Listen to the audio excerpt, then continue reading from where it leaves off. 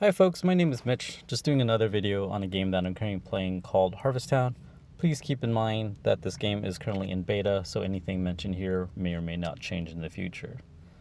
Today I'm going to be talking about how to efficiently utilize your special milks, the ones that you get to refill your vitality.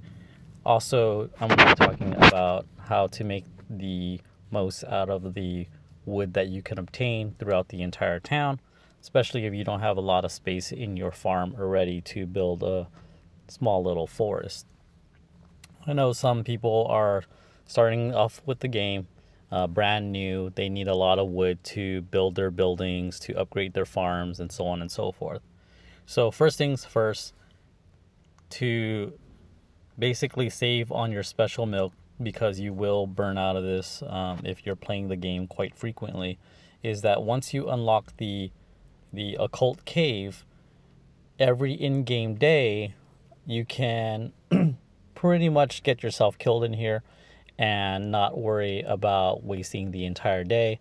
Your health and your vitality will refill up to max.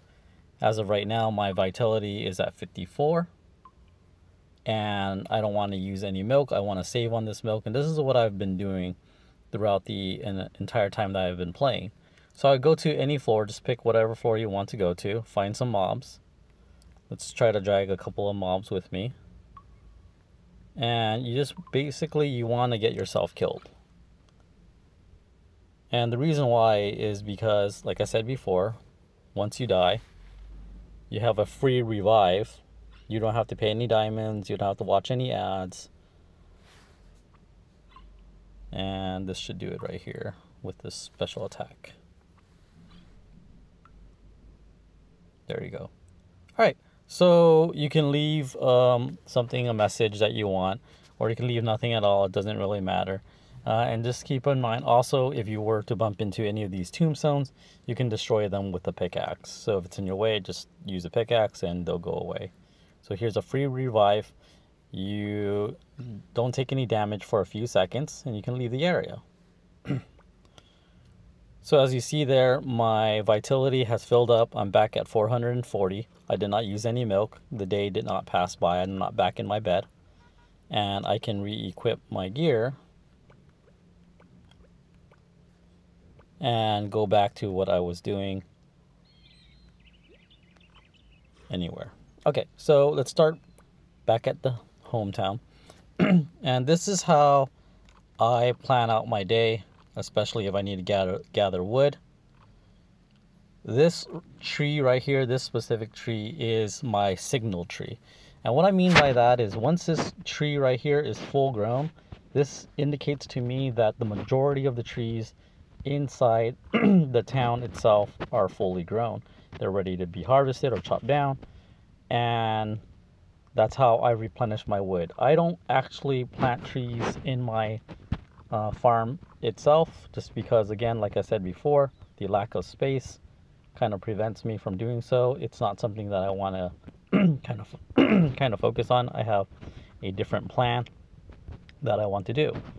So no trees in here with the exception of any decorations or anything that might have just grown overnight or whatever.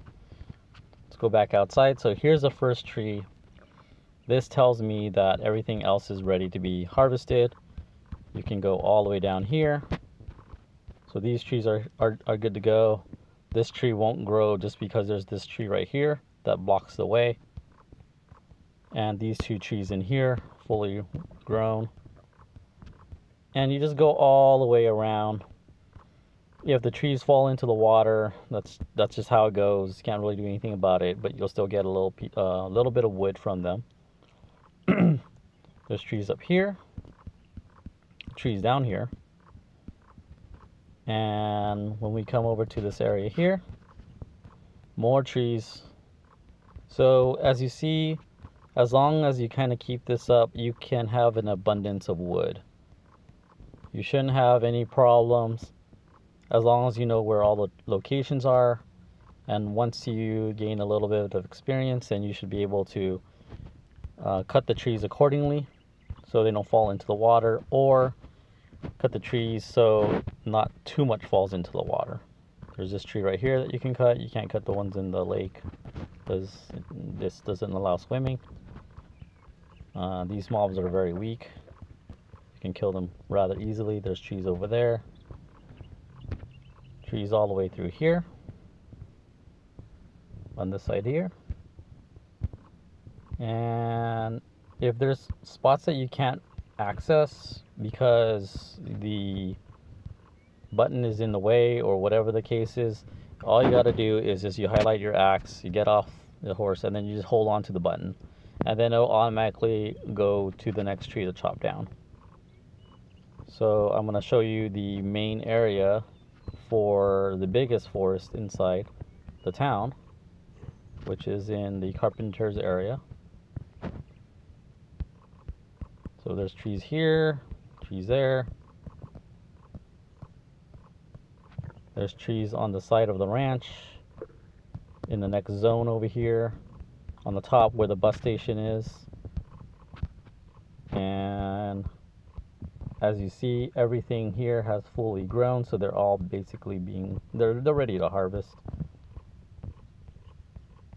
And this is the little forest area here. So again, like I said before, I didn't really grow trees on my plot. I just used the trees that just kind of grew around town. And that first tree that I showed you at the beginning where you enter town is the signal that I use to let me know that, hey, it's time to chop everything down. Um, and I spend the entire day doing so. I hope this helps. And if you have any questions, please feel free to ask. If you haven't done so already, please uh, feel free to subscribe to my channel and stay tuned for the next video. Thanks again for watching. Take care.